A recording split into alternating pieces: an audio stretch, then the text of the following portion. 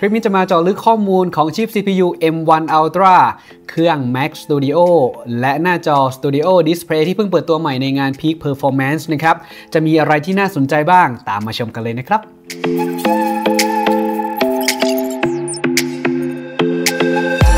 สวัสดีครับ ผมต้อมไอมดนะครับ คลิปก่อนหน้านี้ผมได้สรุป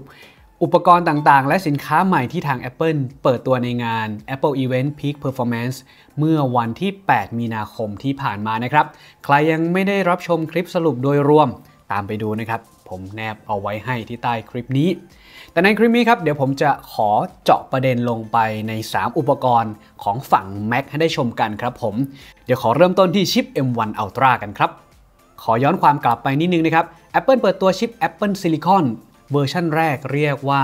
Apple Silicon M1 นะครับผม หลังจากนั้นครับเราเห็นชิปที่มีการพัฒนาต่อมา เป็นในรุ่นของ M1 Pro และ M1 Max ที่ถูกใช้ใน MacBook Pro ขนาด 14 นิ้ว แล้วก็ 16 นิ้ว เมื่อปลายปีที่ผ่านมานะครับผม มีอีกหนึ่งชิปนะครับผมที่ทาง Apple เพิ่งเปิดตัวมา นั่นก็คือฝั่งของชิป Apple Silicon M1 Ultra ครับผม M1 Ultra คืออะไร ให้นึกสภาพอย่างนี้ครับผม มันคือชิป Apple Silicon M1 Max 2 ตัวนำมารวมกัน ด้วยเทคโนโลยีที่ชื่อว่า Ultra Fusion นะครับผม เมื่อ CPU 2 ตัวคือ M1 Max อะ เอามาลิงก์เข้ากัน ดังนั้นจะต้องอาศัยช่องทางที่มีความเร็วสูงในการถ่ายโอนข้อมูล เทคโนโลยี Ultra Fusion ตรงนี้นะครับผมทำให้ความเร็วในการโอนถ่ายข้อมูลระหว่าง CPU นะครับสูงถึง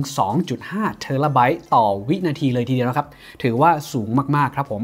ฝั่งของ Memory หรือว่าตัว RAM นะครับเป็น Unified Memory นะครับ สูงสุดเลยอยู่ที่ 128 g b นะครับ ดับเบิล 2 เท่าเลยของ M1 Max Unified Memory หมายความว่า RAM ตัวเนี้ย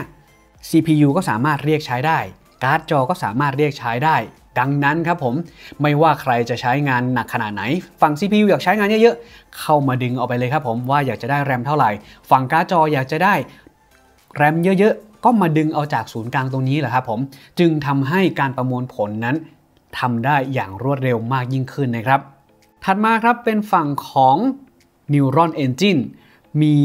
มากถึง 32 คอเลยทีเดียวนะครับ ส่วนนี้จะช่วยให้งานต่างๆ ที่เกี่ยวข้องกับพวก AI นะครับทำงานได้ดีขึ้น ยกตัวอย่างเช่น ถ้าเราต้องการที่จะใช้แอปพลิเคชัน อย่างเช่น Lightroom นะฮะในการ select ท้องฟ้าบนรูปภาพนะครับ ซึ่งรูปภาพนั้นมีขนาดใหญ่ที่เป็นไฟล์ สมมุติว่าใหญ่ ๆ เลยนะ เราก็ใช้ประโยชน์จาก AI ตัวนี้นะครับผมทำ ให้เราสามารถจัดการภาพได้ง่ายมากยิ่งขึ้นนะครับ ต่อมาครับเป็นฝั่งของ Media Engine Accelerator นะครับ สรุปให้เข้าใจกันง่ายๆ ตัวนี้คือตัวเร่งความเร็ว การเข้ารหัสและการถอดรหัสของไฟล์วิดีโอนะครับ ยกตัวอย่างเช่นพวกไฟล์วิดีโอ ProRes ถ้าสายมัลติมีเดียหรือว่าสายวิดีโอ production จะทราบดีว่าไฟล์ที่เราถ่ายมานะครับผมพวกถ่ายวิดีโอไฟล์ใหญ่ๆนะครับไฟล์สี10บิต นะครับ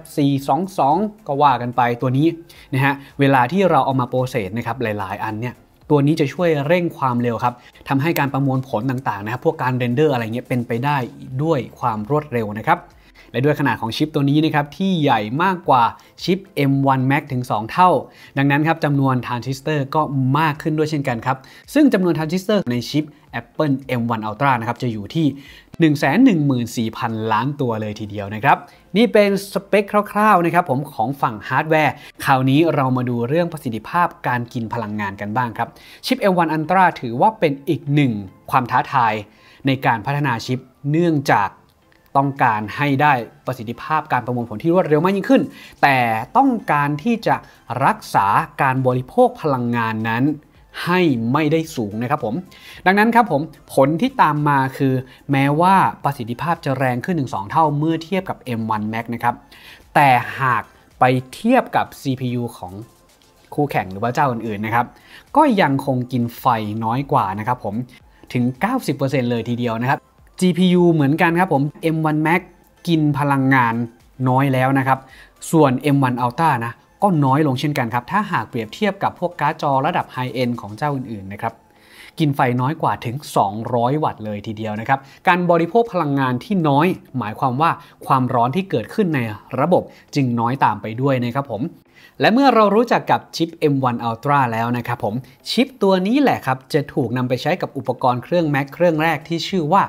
Mac Studio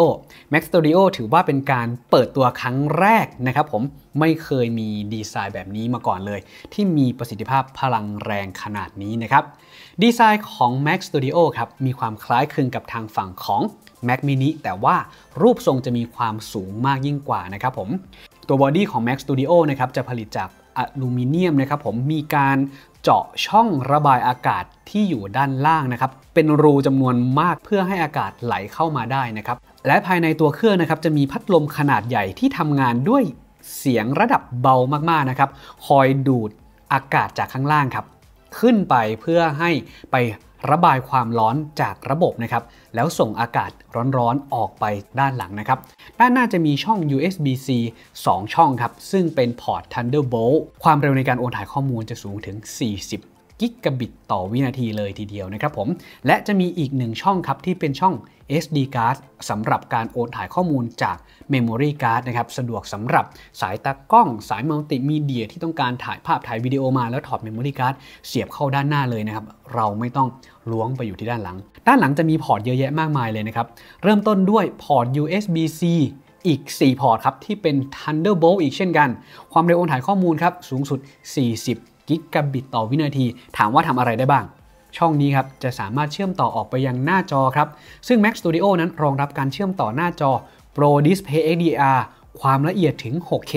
สูงสุด 4 จอพร้อม ๆ กันนะครับฟังไม่ผิดครับ 4 จอพร้อมๆกัน 6K นะ วางเลย ตึ้งตึ้งตึ้งตึ้งนะฮะ และเท่านั้นยังไม่พอครับ ยังมีพอร์ต HDMI ครับ ส่งสัญญาณออกไปที่ทีวี ความละเอียดสูงๆ ได้อีกหนึ่งจอ ดังนั้นครับ Mac Studio เครื่องนี้เครื่องเดียว สามารถส่งสัญญาณภาพออกไปได้สูงสุดถึง 5 จอเลยทีเดียวนะครับ ต่อมาครับเป็น Ethernet ซึ่งความเร็วจะสูงถึง 10 กิกะบิตต่อวินาทีเลยนะครับผม ถามว่าตรงนี้มีประโยชน์ยังไง ผมใช้มาแล้วบอกเลยว่ามีประโยชน์มาก ๆ ครับ ถ้าสมมุติใครต้องการที่จะทำการโอนถ่ายข้อมูล หรือยกตัวอย่างเช่น Production House ที่ต้องการ Access เข้าถึง พวกไฟล์วิดีโอต่างๆ ไฟล์งานต่างๆ ที่เราจะตัดต่อนะครับผมเราสามารถนำไฟล์เหล่านั้นครับทิ้งไว้ที่ NAS หรือว่าเซิร์ฟเวอร์ของเราก็ได้ครับและเชื่อมต่อด้วยระบบ 10 กิกะบิตต่อวินาที เราไม่จำเป็นที่จะต้อง นำไฟล์ต้นฉบับเหล่านั้นมาไว้ที่เครื่อง Mac Studio ของเราก็ได้ครับ เราวางไว้ที่ NAS เลย และเราก็ทำการ access ข้อมูลเข้าไป ซึ่งจะทำให้สามารถตัดต่องานได้สะดวกมาก ๆ เลยนะครับผม ต่อมาครับเป็นพอร์ต USB-A มีมาให้เหมือนกันครับผม 2 พอร์ต เผื่อว่าใครต้องการจะเชื่อมต่อกับอุปกรณ์อื่น ๆ ที่เป็น interface แบบ USB-A นะครับ และยังมีพอร์ตหูฟัง 3.5มิลลิเมตรนะครับผม ที่จะรองรับ การเชื่อมต่อกับหูฟัง และลำโพงที่มีความต้านทานสูงๆนะครับเผื่อว่าใครที่เป็นสายทำเพลง มีหูฟังดีๆครับค่าโอห์มสูงๆของหูฟัง ตัวนี้ก็สามารถขับพลังเสียงออกมาให้ได้นะครับผม คราวนี้เจาะเข้ามาที่ด้านในของตัวเครื่องนะครับผม อย่างที่แจ้งไปครับ CPU ที่เราสามารถเลือกได้สำหรับ Mac Studio จะมี 2 เวอร์ชันได้แก่ M1 Max และ M1 Ultra นะครับ ดังนั้นครับผมประสิทธิภาพสูงสุดจำนวน Core CPU สูงสุดที่เราเลือกได้นะครับจะสูงถึง 20 คอนะครับผม ส่วนฝั่งของ GPU หรือว่าการ์ดจอจะสูงถึง 64 คอนะครับผม ฝั่งของ Memory นะครับหรือว่า RAM นะฮะเลือกได้สูงสุดเลยไปที่ 128 GB นะครับผมและขนาดตัวเก็บข้อมูลนะครับหรือว่า SSD จะสามารถเลือกได้สูงถึง8เทราไบต์เลยนะครับ และผมให้ข้อมูลเพิ่มเติมนะครับเกี่ยวกับ SSD ความเร็วในการ access ข้อมูลนะครับจะสูงถึง 7.4 กิกะไบต์ต่อวินาทีเลยทีเดียวนะครับ ซึ่งถือว่าสูงมากๆ ส่วนเรื่องของสัญญาณ Wi-Fi ครับมาพร้อม Wi-Fi เวอร์ชัน6 นะครับผม แล้วก็มาพร้อม Bluetooth 5.0 นะครับก็ประสิทธิภาพก็ถือว่าจัดเต็มมาให้ครับ ในกล่องเล็กๆ เพียงเท่านี้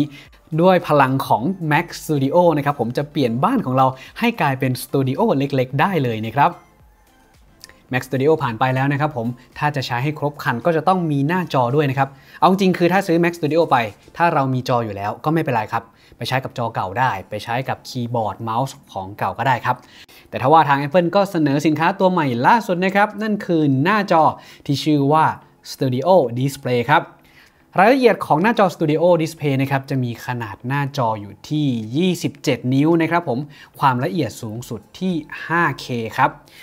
จุดเด่นของในรุ่นนี้เนี่ยไม่ใช่มีแค่การแสดงผลได้อย่างเดียว เพราะว่าภายในของหน้าจอ Studio Display นั้น จะมีชิปประมวลผล A13 อยู่ด้วยนะครับ ชิปตัวนี้นะครับทำหน้าที่ควบคุมระบบต่างๆ ครับผมในตัวหน้าจอ มีทั้งระบบเสียงนะครับ ซึ่ง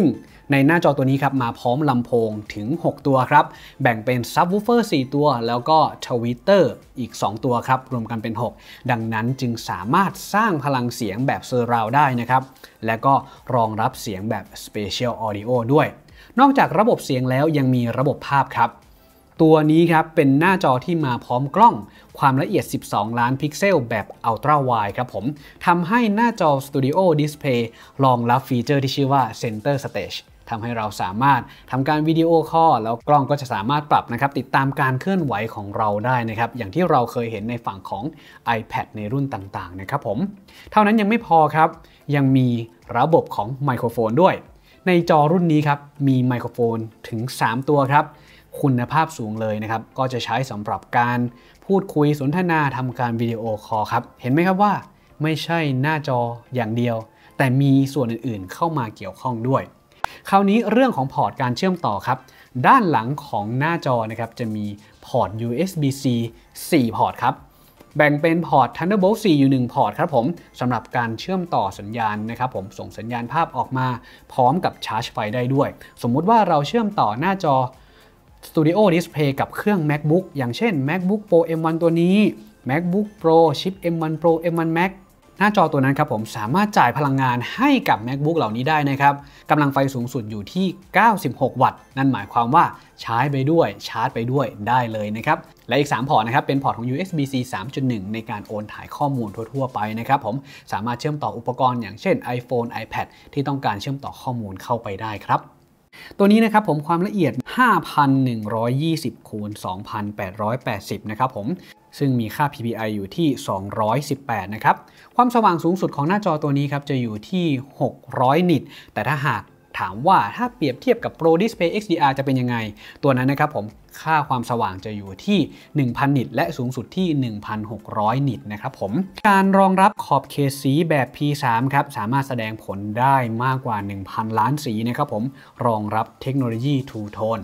ฝั่งของกระจกครับ จะมีให้เลือกอยู่ 2 แบบกระจกแบบมาตรฐานทั่วไปครับจะมาพร้อมการเคลือบแสงกันแสงสะท้อนนะครับผม แต่ถ้าหากอยากได้ ระดับที่ดีมากกว่านั้นครับในการกันแสงสะท้อนเขาจะมีกระจกที่เป็น Nano Texture ให้ด้วยนะครับผมจะเหมาะสมสำหรับใครที่นำหน้าจอตัวนี้ไปทำงานในพื้นที่ที่มีแสงค่อนข้างเยอะนะครับ ตัวนี้จะช่วยลดการสะท้อนแสงได้มากกว่าในรุ่นธรรมดานะครับ คราวนี้ครับเรื่องของขาตั้งครับจะมีให้เลือกอยู่ 3 แบบ แบบที่1ครับขาตั้งแบบมาตรฐาน จะมีความคล้ายคลึงกับทางฝั่งของ iMac 24 นิ้ว ที่เราสามารถปรับมุมก้มมุมเงยได้เท่านั้นครับ สูงสุดที่ 30 องศาครับ แต่ถ้าหากใครต้องการที่จะได้ขาตั้งที่สามารถปรับความสูงได้ด้วยนะครับผม ก็จะมีออปชันให้เลือกเช่นเดียวกันนะครับ แต่ว่าราคาจะแตกต่างกันออกไป ส่วนอีกรุ่นหนึ่งครับผมไม่มีขาตั้งแต่ว่าเป็นเวอร์ชั่นที่เราสามารถเอาไปเมาส์กับตัวแขวนหน้าจอได้นะครับ มีให้เลือกเช่นกัน ก็ให้เหมาะสมกับการใช้งานของเราเลือกได้เลยนะครับและถ้าใครซื้อหน้าจอตัว Studio Display ไปนะครับ จะมีสาย Thunderbolt แถมให้ด้วยนะครับ 1 เส้นในการเชื่อมต่อกับอุปกรณ์เครื่อง Mac ต่างๆ นะครับ นอกจากนี้ครับผมยังมี Magic Keyboard Magic Mouse แล้วก็ Trackpad ที่เป็นเวอร์ชั่นสีดำนะครับผมเดิมทีนั้นจะมีเฉพาะพวกสีขาวนะฮะก่อนหน้านี้เขาเคยขายครับ ควบคู่กับทางฝั่งของ iMac Pro ซึ่งนานแล้วนะครับผมที่มีแล้วก็เลิกขายไปสักพักหนึ่งแล้ว ตอนนี้กลับมาขายอีก แต่ว่าทางฝั่งของ Trackpad นะครับก็มีสีดำเพิ่มเข้ามาใหม่ครั้งนี้เป็นครั้งแรกนะครับเผื่อว่าใครอยากจะได้เซตใหม่หมดเลยนะครับก็สามารถเลือกซื้อได้นะครับ ในฝั่งของเรื่องราคานะครับผมไปที่เครื่อง Mac Studio ก่อนนะครับ ในรุ่นเริ่มต้นถ้าหากใช้ชิป CPU M1 Max นะครับราคาจะอยู่ที่ 69,900 บาทนะครับ สามารถคอนฟิกได้เพิ่มเติมนะครับผม ไปดูในเว็บไซต์ของ Apple ได้เลยถ้าหากว่าเป็นรุ่นที่ใช้ชิป CPU M1 Ultra นะครับ ราคาจะเริ่มต้นที่ 139,900 บาทนะครับ ส่วนในฝากฝั่งของหน้าจอ Studio Display นะครับ ราคาของรุ่นกระจกมาตรฐานนะครับ จะเริ่มต้นที่ 54,900 บาทครับ ส่วนรุ่นที่เป็นกระจก Nano Texture นะครับ ราคาจะเริ่มต้นที่ 65,400 บาทนะครับ ทั้งนี้เราก็ไปเลือกขาตั้งเองนะครับ ขาตั้งนั้นจะมีราคาาที่แตกต่างกันออกไปนะครับผม ซึ่งหน้าจอ Studio Display นะครับสามารถสั่งซื้อได้แล้วตั้งแต่วันนี้นะครับผมส่วนในฝั่งของ Mac Studio ยังไม่มีกำหนดการวางขายในประเทศไทยนะครับ ถ้าหากว่ามีความคืบหน้าทางเราจะมาแจ้งให้ได้ทราบกันนะครับ นี่เป็นข้อมูลทั้งหมดนะครับผมที่สรุปเอาไว้ให้ เดี๋ยวยังไงถ้าหากใครยังมีคำถามอื่นๆเพิ่มเติม สามารถคอมเมนต์ไว้ที่ใต้คลิปนี้นะครับ เดี๋ยวผมจะมาตอบคำถามเหล่านั้นให้ครับผม ไว้เดี๋ยวเราพบกันในรอบหน้านะครับผม ผมต้องไอมดขอตัวลาไปก่อนขอบคุณและสวัสดีครับ